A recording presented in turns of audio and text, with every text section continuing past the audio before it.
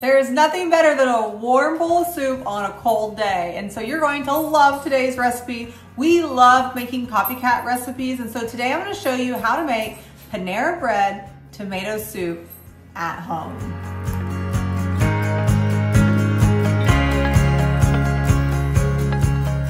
Hi, I'm Carrie with eatingonadime.com and we're on a mission to help families eat well on a budget. And Copycat Recipes do just that. So Copycat Recipe is where we take a restaurant recipe that you can get and we try to recreate it at home to have the similar flavors. Now they're copycats, not exact, and sometimes our recipes are even better. Now, you can find today's recipe linked in the description below, or you can just go to Google and type in eating on a dime Panera Bread soup and it will come right up, or Panera Bread tomato soup. But also, we've released a copycat digital cookbook, and it has a ton of copycat restaurant recipes for you to try, and we have a really nice discount linked in the description for you as well. First, we're gonna need a quarter of an onion. I had a half an onion left over from another recipe. So now we're just gonna dice this up. We want it really small because you know tomato soup is really creamy. So we're gonna dice this into small pieces.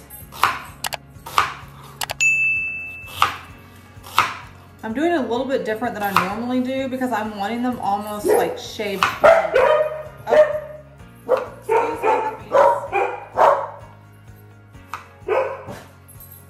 They want you to know that this is delicious. I got the onion finely chopped and that is the hardest part of this whole recipe. We're gonna head to the stove and finish cooking this. Over medium-high heat, we're gonna add two tablespoons of olive oil.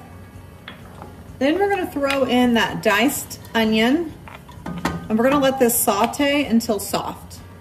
This will take about five to eight minutes or so just to get those nice and translucent and soft. Then we're gonna add a tablespoon of garlic and I like to wait and add it right before the onions are done so we don't risk burning the garlic. I'm just gonna saute that around for about a minute. And you should start smelling the garlic. Mmm, smells really good. Now I'm going to add two cans of whole peeled tomatoes. Now these are the 20 ounce, 28 ounce cans. It's those really big cans that you can find in the grocery store. You can use fresh tomatoes if you want to, but this is, you know, we're doing a copycat for Panera. And so we're using these canned tomatoes. I kind of like to break them up just a little bit with my spoon and we're gonna get this heated through. Now we're gonna add one cup of chicken broth, or you could use vegetable broth, two tablespoons of sugar, a teaspoon of dried, sorry, dried oregano and dried basil, and then salt and pepper. And then we're gonna mix this all together. Now we're going to bring this to a low simmer and so I'm turning it down to like, well, I'm gonna wait until it gets up to a little bit of a boil and then I'm gonna turn it down and we're gonna let this simmer for about 12 minutes, 12 to 14 minutes until everything is cooked through and those tomatoes are soft. So we've been simmering for quite a while and as you can see, there's a completely different consistency. We still have the chunks, but it's a lot thicker and a lot of the tomatoes are broken down.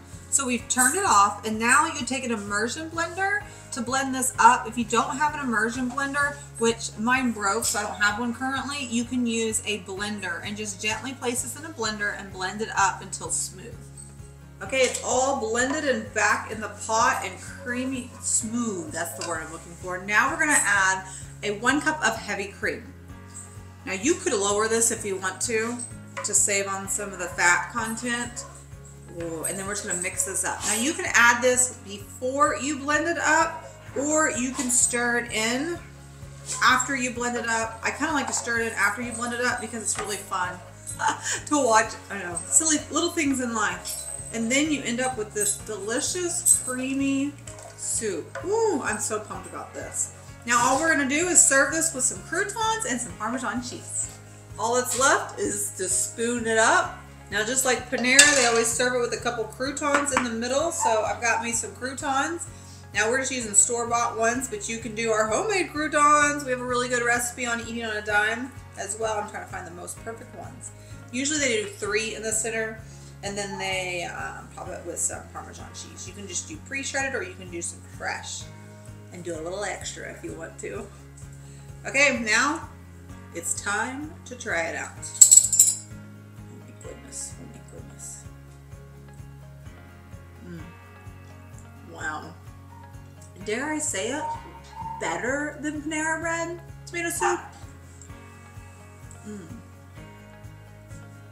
Yeah. I'm sorry, guys. I know I'm supposed to be talking to you, but I'm eating. Mm.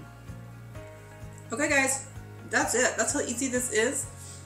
Dinner's done. Make this for dinner. Make it for lunch. One thing I love about it is this freezes great. You can freeze this up. We have a whole post on Eating on a Dime on how to freeze soup. I love that because then you can just heat it up real quick for a quick lunch or a quick dinner and serve it with a grilled cheese or a salad you want to be healthy. Um, but yeah, it's really good. Make sure you can find, uh, you can grab the full recipe. I have it linked in the description for you, or you can go to Google and just type in Eating on a Dime Panera Bread Tomato Soup.